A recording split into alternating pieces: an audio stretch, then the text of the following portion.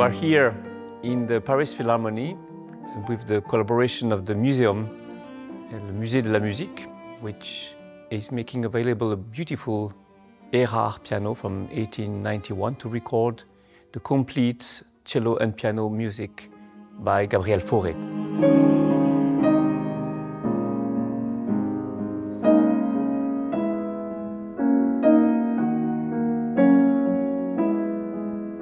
Fauré uh, owned some Erard pianos. It is extremely nice and inspiring for us interpreters um, to think that the sounds that we're hearing on this piano uh, could have been heard by Fauré.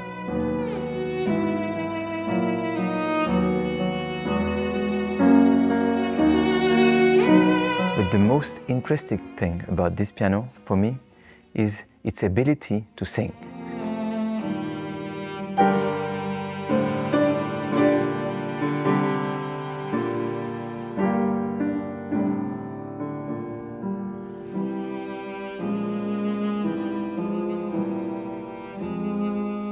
We cellists feel particularly grateful to Gabriel Fauré, which dedicated some of his greatest pieces for our instrument.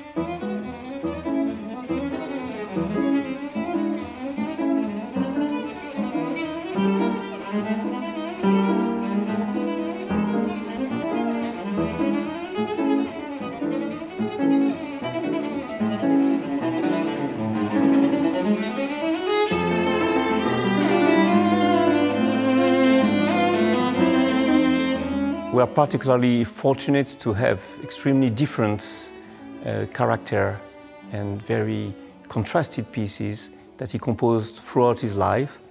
Uh, some, the most famous, having been composed when he was quite young, the Elegy, the Papillon, uh, Sicilienne, Berceuse, among the very famous pieces by Gabriel Fauré.